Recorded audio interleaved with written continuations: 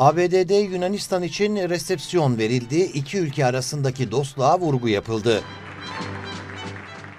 ABD Başkanı Joe Biden, Oval Ofis'te görüştüğü Yunanistan Başkanı Kiryakos Mitsotakis ve ailesini Beyaz Saray'da düzenlediği resepsiyonda ağırladı. İki ülke arasındaki ilişkilerin kurulmasının 201. yılını kutladıklarını belirten Biden, Yunanistan'ın ABD'nin önemli bir müttefiki olduğunu kaydetti.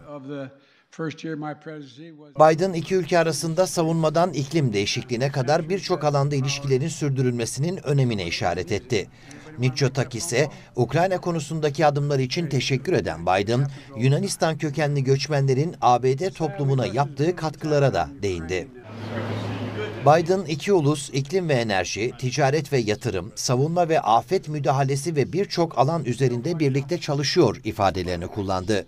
Bugün dostluğumuzun, ortaklığımızın ve ittifakımızın hiç olmadığı kadar yakın ve güçlü olduğunu söylemek abartı olmaz, dedi.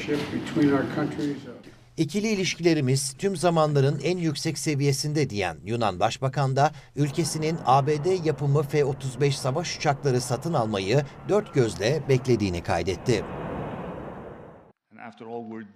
Yunan basınının aktardığına göre Mitsotakis F-35 uçaklarından oluşan bir filo satın alma sürecini başlatacağız ve bu harika uçağı önümüzdeki 10 yıl içinde Yunan Hava Kuvvetleri'ne dahil etmeyi umut ediyoruz dedi.